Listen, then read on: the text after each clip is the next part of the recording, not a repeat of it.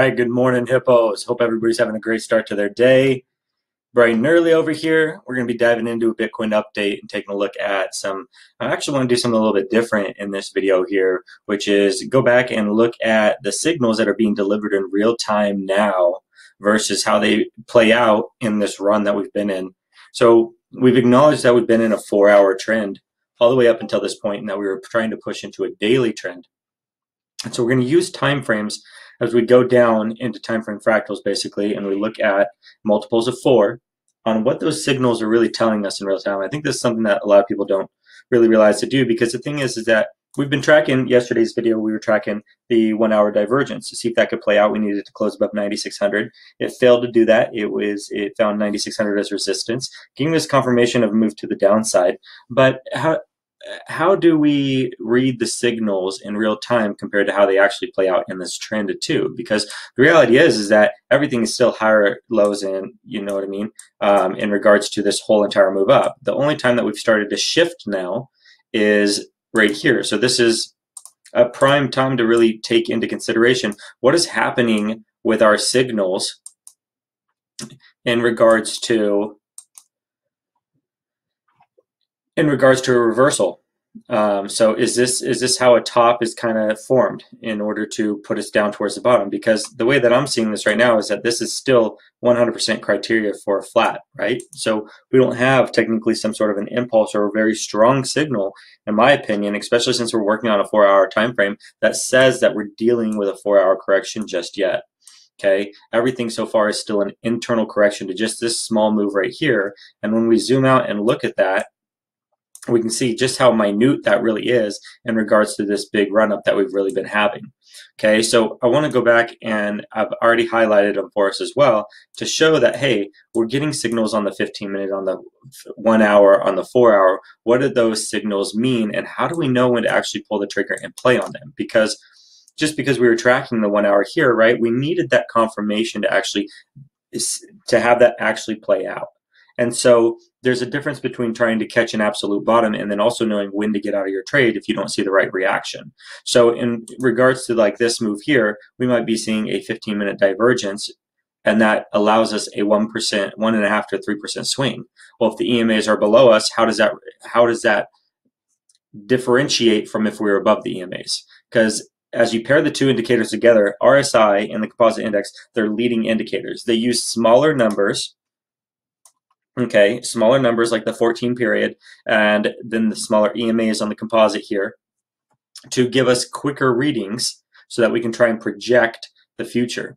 The RSI allows us to identify a range. So these two are both strength indicators, and you don't normally ever use two of the same indicators together, but I use them for two different reasons. The RSI is a range indicator. It varies between one, zero, 0 and 100. And so when we're in a bullish range and when we're in a bearish range, that's what the RSIs are telling me. The composite index, because it has a momentum indicator attached to it, gives me better signals for divergences and false divergences that the RSI might be giving me. So it's a better divergence reader, okay, than the RSI is. So I don't use the RSI for divergence. We use the composite index for divergence and we use the RSI for ranges. Okay, now I'll still look at divergences on the RSI just to compare them with composite as I'm still doing data testing and collecting for it. But for the most part, that's we use them for two separate reasons. And then the EMAs, they're lagging indicators, and they're lagging indicators because they take a much bigger period in time, and so they're telling us a trend. Okay, so they're a trend lagging indicator. And so if we get a signal on these that is telling us the future, and we're above the trend lines on, on the EMA, we're above those, then we have really strong signals. When we're below them, we're looking for the opposite, right? For that reversal. So let's just go back in time here real quick. And, you know, even now we still have divergences that are printing. We're just needing to see the right reaction. We need to see confirmation and a push to the upside. Because if we do get that, well, then we actually have a really bigger move that we can take advantage of. And so it's not like we have to catch the absolute bottom right here, right? We're just watching for the signal and then waiting for the confirmation on it as well. And then having a fast trigger to pull that trigger and you know put our stop loss in the right places which is another problem that people run into too is that like when the emas cross over people see that as a bearish or a bullish signal right well, okay well cool you're going to take a trade Do you know how much gain to expect? Do you know where to put your stop loss based off of that strategy? Do you know how to exit that strategy? Okay, just because there's a buy signal for it doesn't mean that that's something to just jump into. You've got to have the whole formula.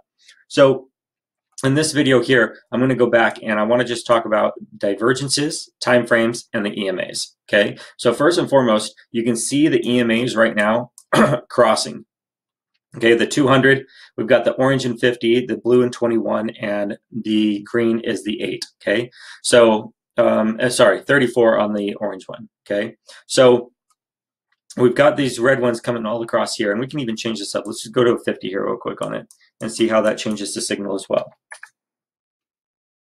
Okay, so you can see that we've on the 200 we've already crossed these. So even if you're using a 50, technically the red hasn't even crossed all of these to even give a sell signal yet okay, right? But because the lagging indicator, it's something with EMAs you're going to have to project in the future. Do you expect this to roll over further, right? So if we go back and we look at every time, I'm going to change that back to a 34 because what I've plotted out the data for. But let's just go back to every time that this right here has occurred, and I've marked it with red vertical lines. And we can see what happens with price in the purple boxes. Okay, so in this case here, if we're just going based off of an EMA signal, we can see that we basically just consolidated sideways. And the reason being is because we're on a four hour uptrend, right? So corrections are going to be prevalent on the 15 minute and on the one hour. That's where we're going to see what we think are reversal signals, and that's going to be your noise, your false signals. It's really just corrections. Okay, so this is how we get better with time frames too. Here again, we crossed over the 200 over all of these here, and purple box. We just, I mean, look at where that signal would have put you on price. And the height of the purple box is where you probably, at very best, you probably would have entered in at. Okay, so same with this one here. We cross here, so we short here. Okay, we came out, came back down, and under all of this, we would have just sat in the red, in the positive for, I guess you could say. But what's important is like, what's the average? What's the average gain of that? You know, take the take and measure it down. Write these things down to track your strategies. So if you're looking at that as your crossover, we get 7.5% drop. Okay. Um, this one over here, okay, 6.4. This one here, God, I don't even know if that would have counted. 3% though. Um, you know, this move here, and take these, add them all up, and get and get the average. It's what I did when I was looking at RSI divergences on each time frame. It's why I know what I can expect from a 15-minute divergence if I'm above the EMAs, what I can expect from a 15-minute divergence if I'm below the EMAs. Okay, and same with the one hour, the four hour, and always keeping within the same time frame as well. So, with that being said, uh, let's grab this uh, one as well here, and we've got another seven percent. So when those cross over, we typically tend to consolidate more sideways within about, on average, what would you say? Maybe, I mean, we can add these up, but I'm not going to. So uh, right about what we got, seven, seven, seven, three, and a two. Okay, so these two right here would have been probably bad signals. You would have lost on those two, would have been, would have gained on three, three out of the five. Okay, so you've got about a, what is that, a 70% you know success rate if you get good with this signal and you take every single one, right? If you don't take every single one, let's say now you want to check time because if you're in bed and you're sleeping during this signal and you know what I mean, and you're in bed during this signal, then and you take the other three, well, now you have a horrible risk reward ratio, right, on, on your wins. So it's good to track these things when you're developing your strategy and putting it all together, you guys. Um, so that's what the EMAs are doing. Well, you want to pair two things together with strategies, right? So we've got the EMAs telling us a trend, and we have those flipping, but they're a lagging indicator. So if we compare a lagging indicator up with a leading indicator, we can start to strengthen a little bit more, okay? And so now if we go down here and we take a look at every time price moved uh, when those EMAs flipped, what are we seeing from the RSI? And so in this case here, we're on the one hour still. And yet you got to do this for multiple time frames because you're going to strengthen it that way. Because if you recognize that you're on a four hour trend, then you're going to use the 15 minute and the one hour to actually try and pick these bottoms for corrections, right? Because the reality is, is every single one of these that we, where the EMA is crossed, one, two, three, four, five, they're all on the bottoms. Okay, you basically picked the bottoms okay, if you bought. Well, and that's what we're doing right here too, right? This is a a cross, just like these are crossing if you were to go off at just that signal alone. So now we want to accompany that with the RSI as well, okay?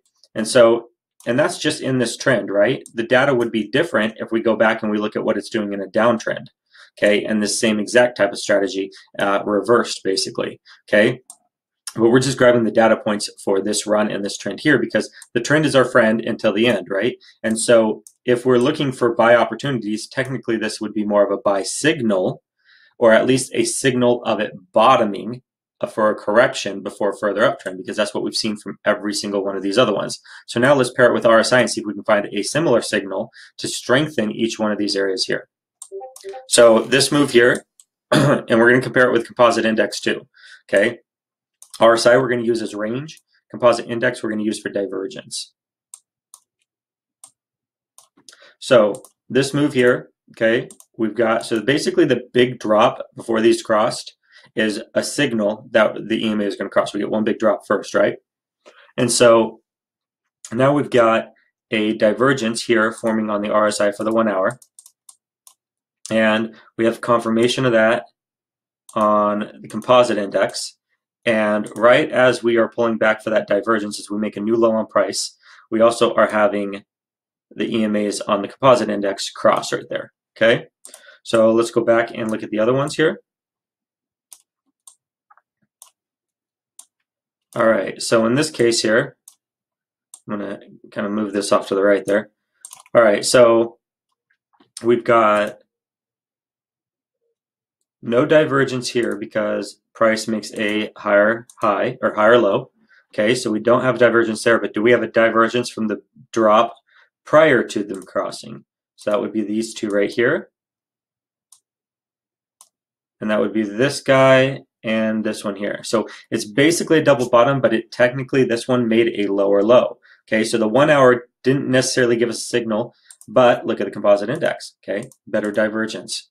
Okay, so the composite index confirming that we've got a divergence right there. RSI is not. Okay, it's more of like a double bottom, but this actually breaks down a little bit of a low there.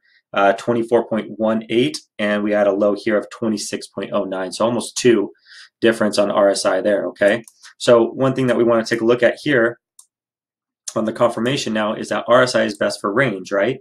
So if we take a horizontal line and we know that 40 is basically the sweet spot, Okay, but we don't want to just say that 40 is the sweet spot because every time frame is going to be slightly different. Sometimes it's 47, sometimes it's 37. Okay, it's you want to figure out what the signal is telling you the best in regards to this trend here. So if we kind of just zoom out here and we recognize on a one hour time frame, where is the best spot for every time we pulled back into a correction, okay, and we kicked off. Okay, so look at that range right there. We got this guy here, there is a little bit lower. So as long as we're above 30 and above 40, both are, are really good signals right there. What about coming over here? So boom, we lost it right there. So when we dropped down underneath like this, we had to move back up, but it was signaling that we were going to have another low. Okay, so because of that, this almost lost the, the, the trend altogether. You can see that right there. We actually got into a one hour bearish kind of trend right there because we were hitting this bottom so many times right there. So, and it resulted in lower lows. So once we finally had that divergence between here and here, that was a good signal that we're kicking back up into the range. But look, when we really got back up into the run again, look at where we found that support at. Okay, we were back up into that 40 again. Okay, so right here is like really key good levels. Here, here, all of that, this guy here, Okay, so even right here and here, we're starting to lose it now. We lost it, came down to 30 right there, which signifies one more low. Okay, same with this guy here. We dropped underneath that 40, signal, signaled one more low. Okay, we that would have been paired with this one and this one here. Okay, so piecing this together, as we look at these signals, right, here we are, and we're back down under that 30 right now move this to the right a little bit. We're, we're at that 30, which signals that we had this move here, signals one more low. So that would match up with the pattern that we've been making basically. So this would also support, given this bottom here and then one more low, that this would actually be technically a buy opportunity again. for right down in this range here, okay? So, and then we use, we pair this up with Elliott wave to get our projections, okay? So if we have these signals that are being given to us, and then we look at this and we say, okay, we got a flat correction here, or maybe you think this is going to be an impulse and it's going to go down deeper. So you're looking for maybe a 1.382, 1.236, right? All of those, once accompanied with the right signals too, and then you get the confirmation by it actually moving, gives you a lot of confidence that you can actually take that trade. And some of us even jump in early with minimizing our risk, right, with smaller positions, and then we wait for the confirmation. If we get confirmation, we add to it. If we don't, we exit the position. Okay. Um, so, but let's go back. Sorry for getting off there a little bit, but coming back here to the divergences again. All right. And we have the composite index still telling us the divergence. Notice that the divergences are coming before the lagging indicator is. Okay. So, in other words, this is telling us that we have a bottom before the EMAs are. Okay. So, come back over this way here. Here's our signal. EMAs are crossing. What is the RSI doing? Okay, it, a little bit of support at 30. And we don't have any divergence on the RSI right here, okay, between these two. But we do on the composite. Okay, notice the point here is equal to that point there. It drops lower. So again, the composite giving us a better signal. Okay, as to this divergence right here, okay? And on one hour, when we see those divergences, you might as well just measure too, what can we expect in the short term and also in, in date and time. So if we get this signal here, how patient do we need to be now? Okay, so we've got a signal and each one of these took probably, let's see here, a date range.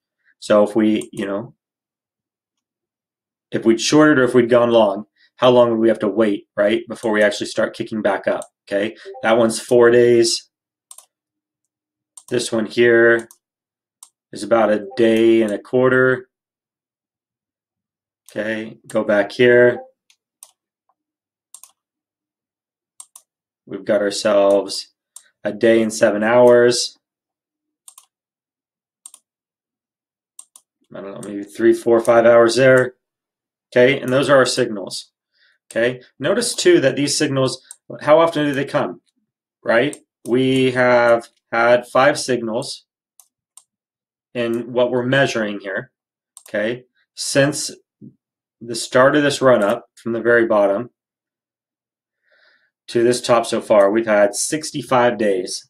Okay, basically 65 days, and we've had five signals. So we get a signal every 10 days it really helps you so that you don't overtrade if you know how often to kind of expect your signals too. If you're trying to, you know, and scalping is going to be completely different than one hour or four hour trend and so forth. So you're going to develop different strategies over time.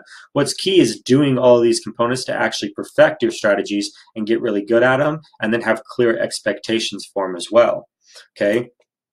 So let's go finish off the divergences on these other ones here.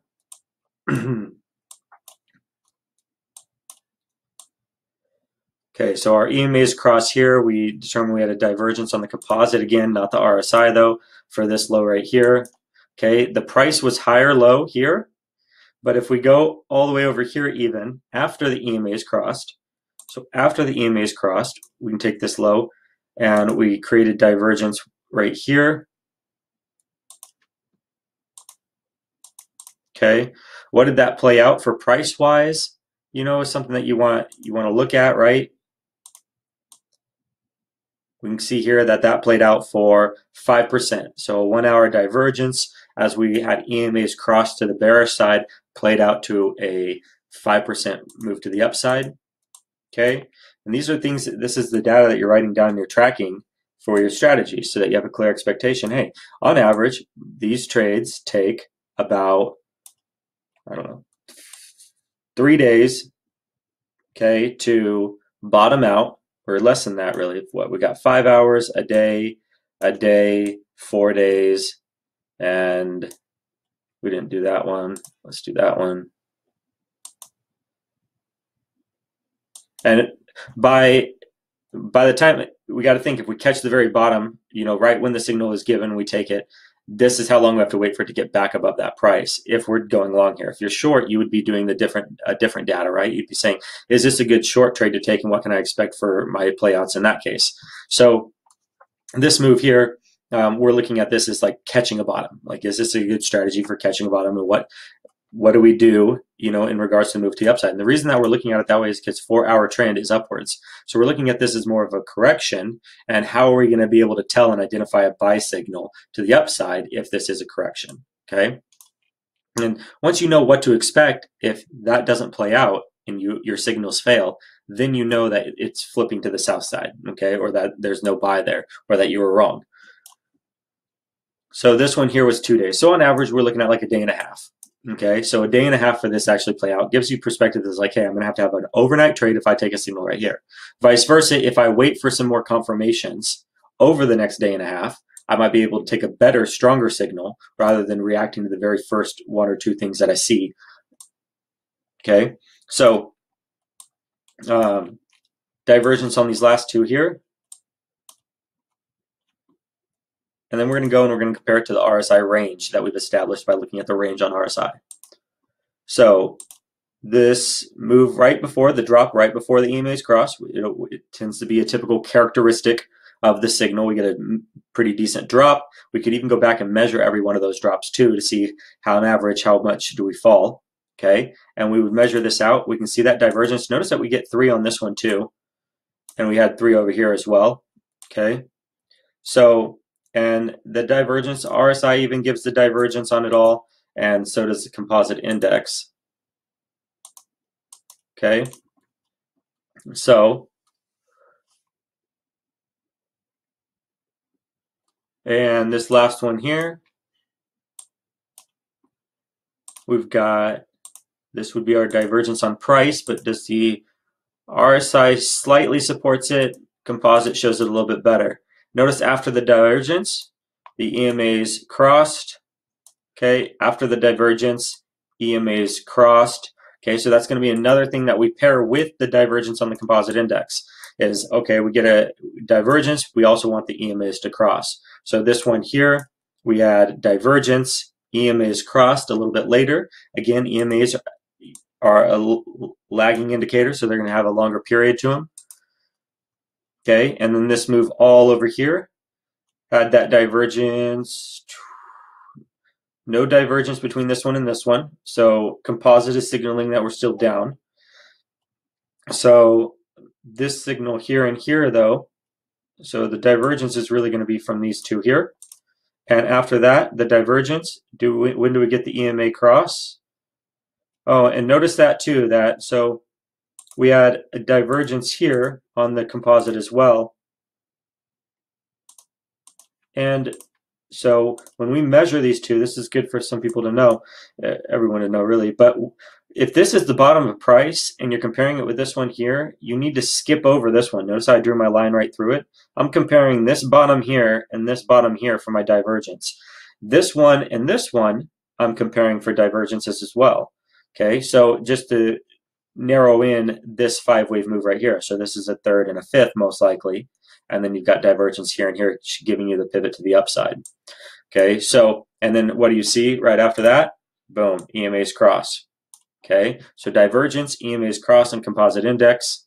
Okay, now confirmation is on the RSI for the range. The range is going to be um, like a confirmation indicator. Okay, so it's going to confirm that you're holding the trend. You want to hold that bullish support for kickoff and continuation. So every time, if this is our signal for buy signals and that we're bottoming, then we need confirmation that we're going to continue continue moving even higher.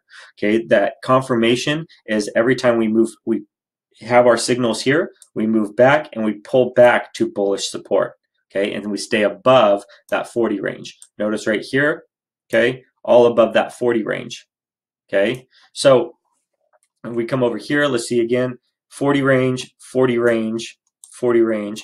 So once we lost that right here, okay, but that's going to be a whole different strategy altogether because now we're talking about tops. We're just going to focus on the bottoms here. So Um, coming back over to this way here, uh, EMA's crossed, we, we notice all that. So now it's just the RSI ranges. So every time we get that signal and we come back and we get a move up and, and, and back down, we want to see that RSI. So this move here, come up, we want to find it as support. If that 40 is always acting as support for us, it allows us to continue that trend up. But anytime we lose that 40 on the one hour, it's signaling that we're going to have a move up. So technically we have a buy signal. It's going to be smaller buy signal though. Okay, you're going to have a lower expectation as to the move up because you're getting a reversal. And then we get another low. That's the bigger move to the upside. So you wait for two of them now on the RSI range when on the one hour. And this is something that we have to go and we have to do for the 15 minute as well to see with the same exact signals, we go into the 15 minute time frame and we say, okay, what is happening now in the 15 minute time frame and how can I use the two time frames together to give me a more accurate signal? And that's the power of time frames very very powerful stuff. We're not going to do that in this video on the 15 minute I just wanted to walk through technically the one hour and what the previous signals to this trend have told us. And so until this you know fails so to speak what we can expect when these cross here is on average we get about a what was it a 5% 7% drop in consolidation. So I would expect something like this from this point forward. I would expect boom, boom, boom, boom, boom. Uh, you know, and then another kickoff to the upside, so long as we get the divergences and the other supporting indicators to it.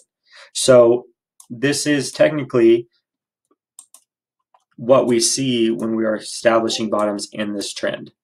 So, and until we lose that, that's technically a strategy that we've gone over here that we can use to try and pick a bottom.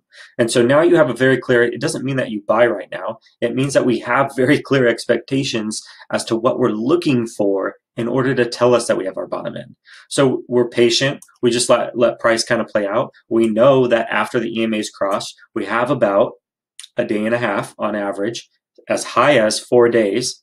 But even then we saw a move to the upside. So about on average a day and a half okay, to kind of see where price is going to go. It calms your emotions. It tells you that you don't have to take a trade instantaneously. And this is for a strategist for a bigger move, right? We're not looking at trying to scalp this stuff down here. If we wanted to do that, we would be on a 5 and a 15 minute and we'd be developing a completely different strategy for this price action and trend in here. I'd like to do more videos like this. So let me know down in the comments below if this, if you like this type of content, if you want me to go over more stuff like this to where we can develop different strategies together and, you know, and, and read indicators differently and how to pair them up with Elliott Wave as well and Fibonacci extensions and retracements to develop targets, entries, and stop losses.